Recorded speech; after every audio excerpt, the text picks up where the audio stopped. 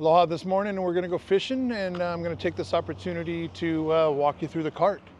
Uh, so before we can go fishing, we gotta get everything loaded up and then we'll head to the beach.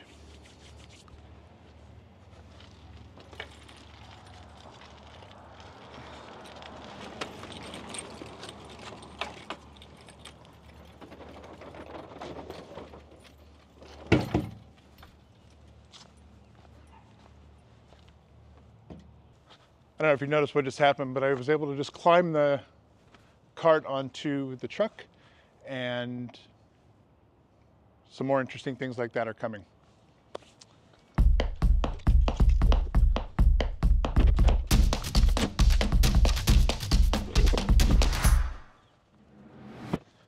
All right, we're all loaded up. All I gotta do now is uh, take the camera down, get it in the truck, and then we'll go fishing. All right, I got my ice. I'm gonna get unloaded, load up the cart, and then get ready to go fish.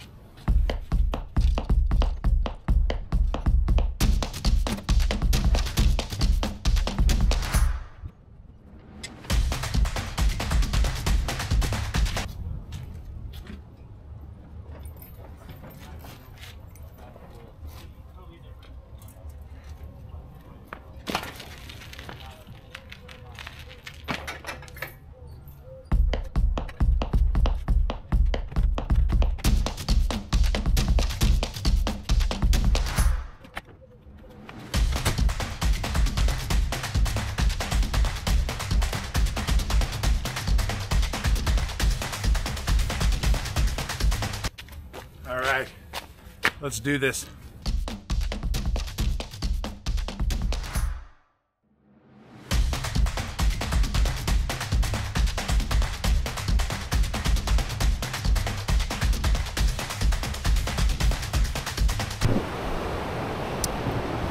All right, hopefully uh, everything uh, camera-wise has worked so far this morning.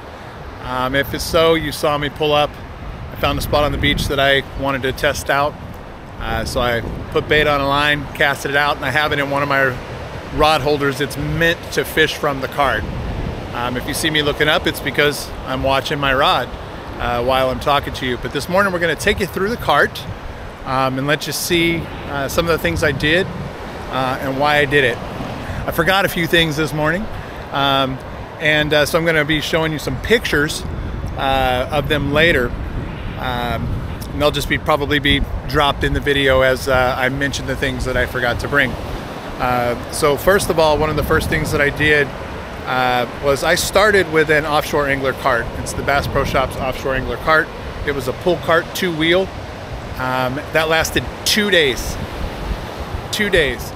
Uh, then I went looking uh, to put four wheels on it. Um, I found those wheels, and I'll go into those here in a few.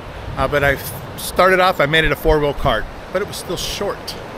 Um, and everything else that you're going to see this morning um, has been done over the last handful of months.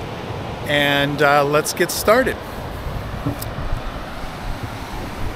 So, one of the first things that I did was I swapped out.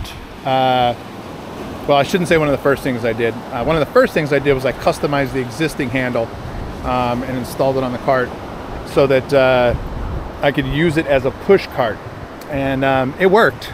And I fished it that way for a few months, all the time taking notes, figuring out what was going to work, what wasn't going to work, um, and uh, ultimately realized that that handle was not going to do what I needed it to do. If you remember this morning, uh, you saw me uh, climb the cart uh, into the truck and then take it out. Also, that same movement is how we steer a push cart. Um, you push down on the back and you raise the front, or you pick up on the back and you raise the back and you maneuver around. Um, it's how I climb stairs, it's how I climb downstairs. So that handle needed to be strong. Now, um, there was a couple of handles on the market that I really wanted, and I just couldn't get it to work out. Um, there was a cart that had a big uh, box here for storage, and for my camera gear and stuff, I thought that would be great. I also have a tendency to walk into the water with my electronics, so um, thought I would protect myself, but it didn't work out. Um, so I ended up finding this. Um, if you haven't seen it, I highly recommend it. Um, it's a solid, solid handle. Now let's talk a little bit more about this handle. So if you see right down in there, right, my connection tubes are on the inside rail of the cart. And what that has done is that has made this cart completely strong. Now, I have 20 pounds of ice. I got all of my gear, and you saw me just tip that cart back. Front wheels off the ground, right? No movement whatsoever, right? It's also got a little bait bucket. I've hung up all of my sinkers, um, a little bit more on those. You'll notice that I have some uh, clips here. Perfect place to hang my, my towel. Um, but I'm really, really happy with the way this handle has turned out. I will point out, I don't know if I'm gonna be able to do it uh, by holding the camera, but it slides in and out, right? But you notice I could pick up on this, but you notice if I pull hard, it slowly starts to slide out. The handle is completely removable. And with that handle removed, I can actually tip my cart front uh, nose down, right? And I can hang it on a hook on the wall in the garage. So one thing I wanted to point out specifically, if you see when I slide this handle out, I'm hoping that this is turning out well in the light, right? But if you see, this is some heat shrink tubing. Um, it's typically used to uh, put on the ends of fishing rods. Um, you'll see that I've got it on the end of my sand flea rake there, whatever. But this eliminated all the wobble. It's very quiet, there's no jittering or whatever, and it allows me to secure that handle um, unless I want it to come out. So I think the handle came out really well. Um, please uh, comment below what you think. Uh, feel free to ask any questions. So I'm not doing these in order uh, that I did them, but I am doing them in order of how excited I am about them. Um, so one of the things I want to point out is that lift kit. Now that lift kit, um, aside from that handle, uh, was probably the biggest upgrade that I did um, in fact, I'm going to call the handle, the lift kit, and the wheels a three-way tie. Um, but that lift kit, uh, inside diameter, um, it's over 14 inches, right? It lifted it up to where I never have to bend down um, unless I'm pulling something out of there. But um, when I sit out here on the beach and uh, bent over at the waist, the back really starts to hurt. Um, but uh, it's just aluminum and I'm gonna zoom in. By the way, I'm not a welder, all right? and especially not with aluminum. So don't judge me on that. But I want to explain to you what I did here. So I took the stock angler cart, which had hollow tubing below, and I made this bottom piece, right? And then inside of those is a slightly smaller di uh, it's not diameter, I guess, but it's a slightly smaller size so that it can fit in the top and the bottom. And then it was welded in place. So this whole, all four points have been significantly strengthened um, so there's no way that those are going to go um, anywhere. Underneath there, I can stow all my candle uh, camera gear.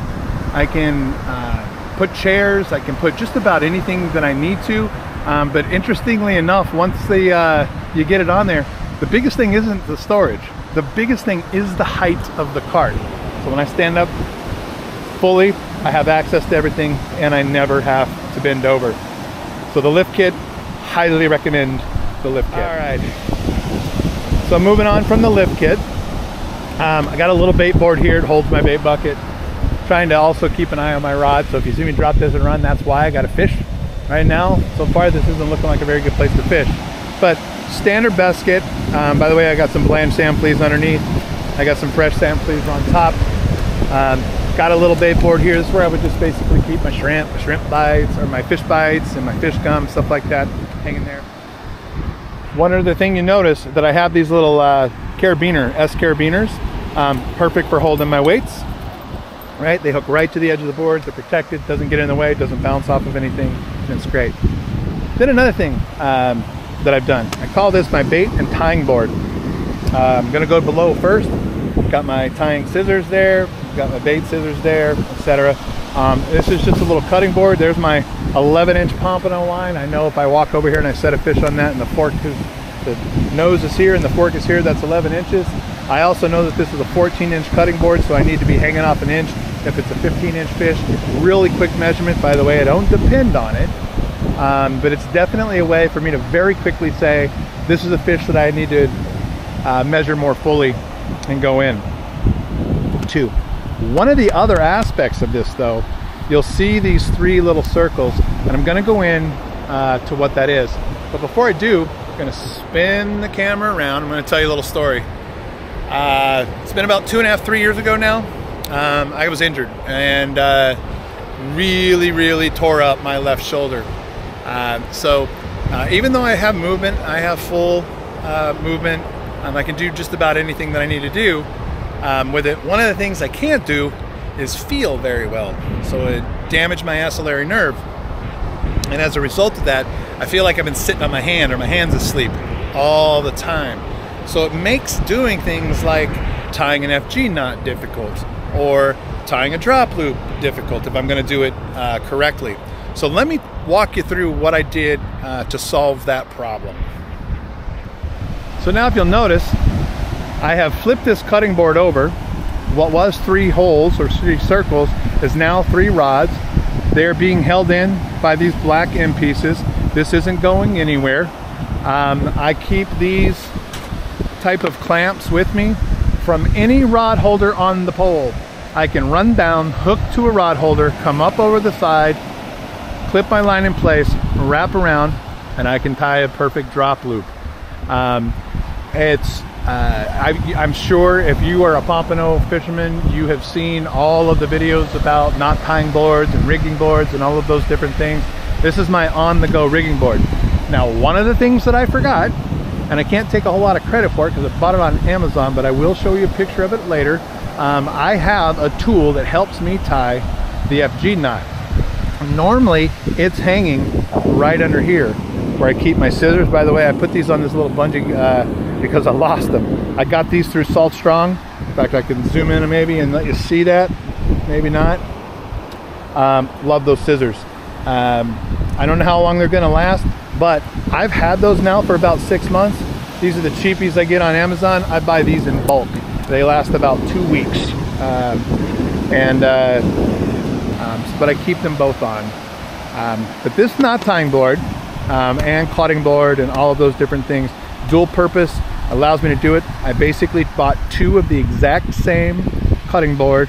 I measured it out, I drilled holes so that they all lined up.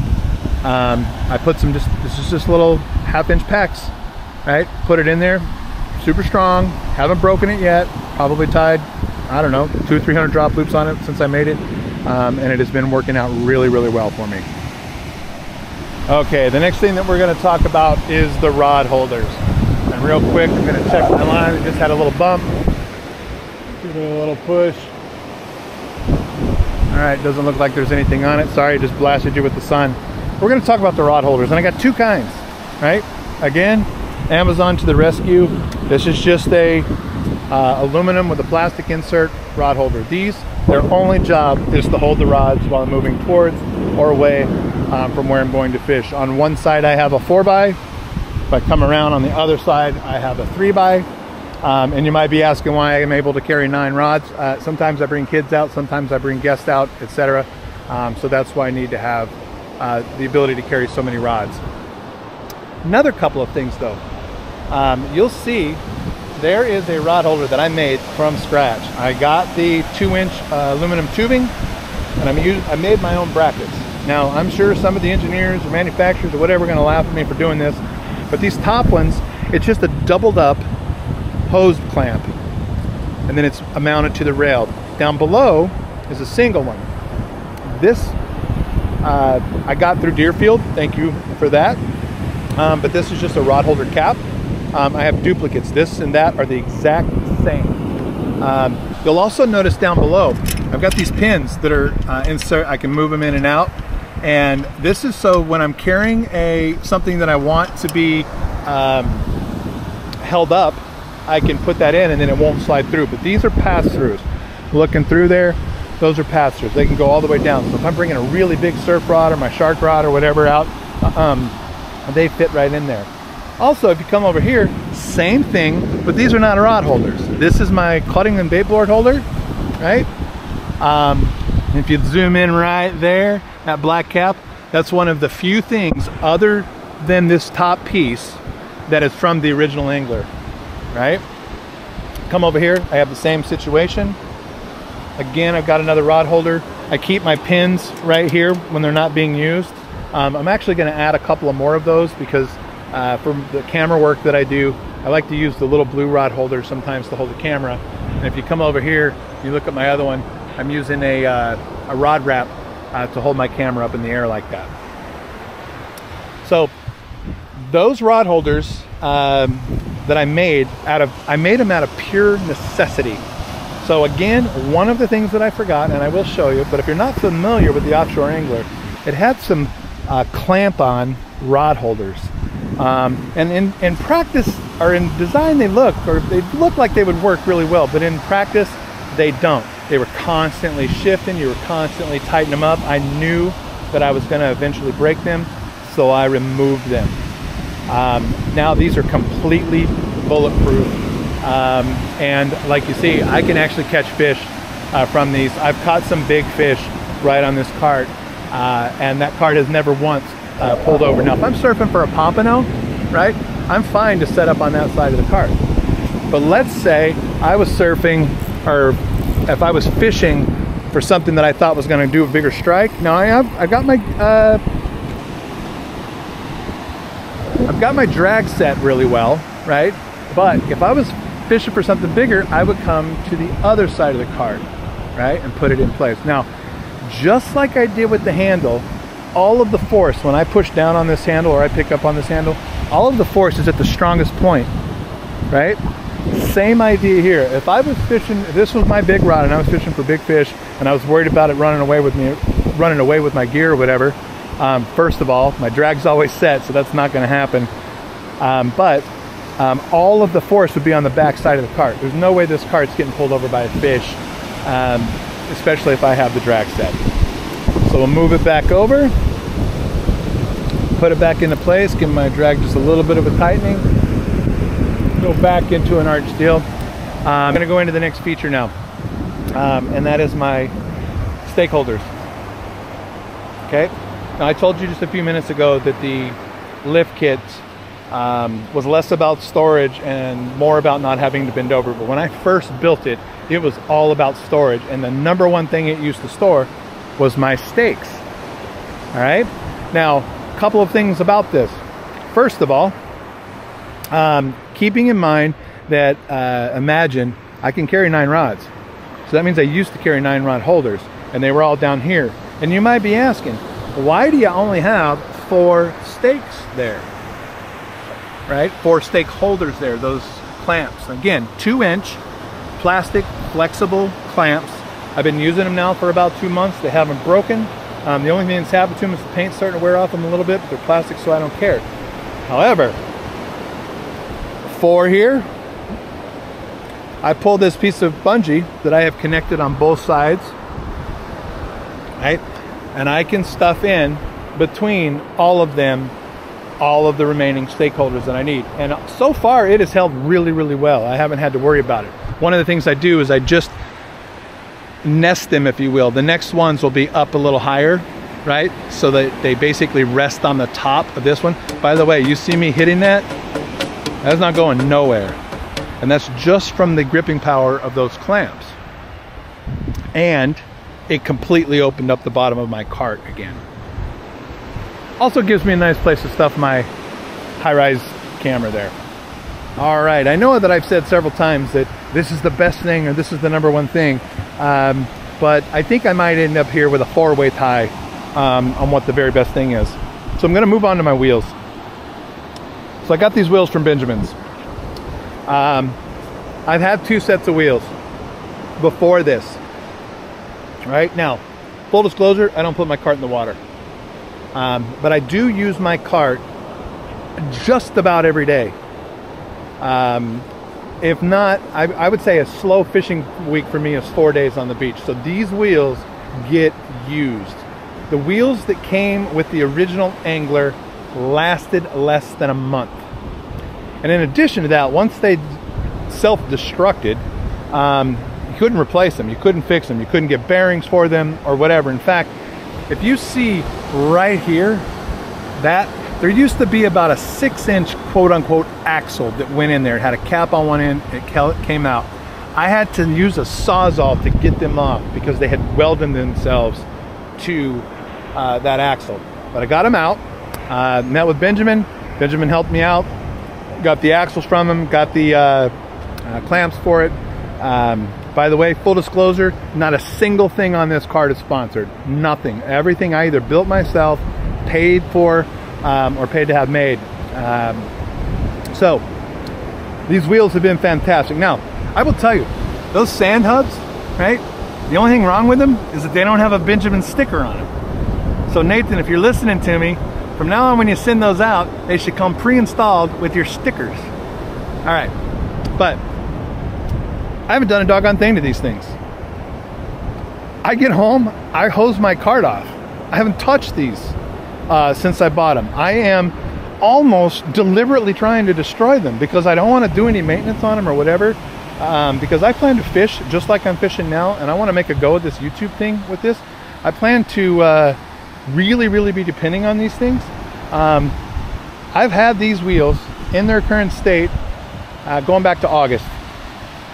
So, what, we're at six months now, uh, seven months now, and I haven't done so much as put grease on them or nothing. All I've done is rub them out. I think that's all that I had um, to do. Uh, please, if you've got any questions, any comments, any concerns, uh, ideas, by the way, I, this isn't done. I told you I've got some extra things that are coming um, that I'm going to uh, do to it. But uh, if you've got any advice, uh, please feel free to share it in the comments below. Um, looking forward to interacting with you. I hope to see you on the beach. Um, one of those additions that I'm going to do is right here, bump bump, the piece of scrap, scrap that I have from making those I'm actually going to make a flag holder, so pretty soon you're going to be able to see a big old flag sticking out there um, that's also going to act um, as a stake in the ground And the off chance that I catch a great white, which we all know um, isn't going to happen. Now, that pole hasn't moved except for that one time, so I think we can all clear, be clear that it's probably time uh, for me to move on. All right. Well, as you can see, I haven't been interrupted a single time. Um, that rod has barely done anything. I don't think there's any fish in this trough.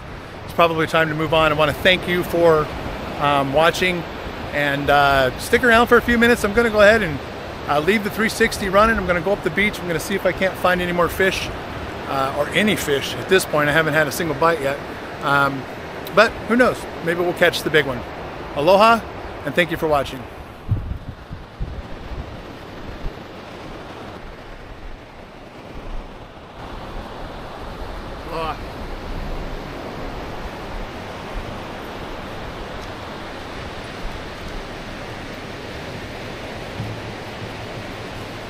One more thing. And this is very important. Maybe the most important thing that I leave you with today. If any of you happen to talk to my wife, this cart and everything that goes in it only cost me 250 bucks.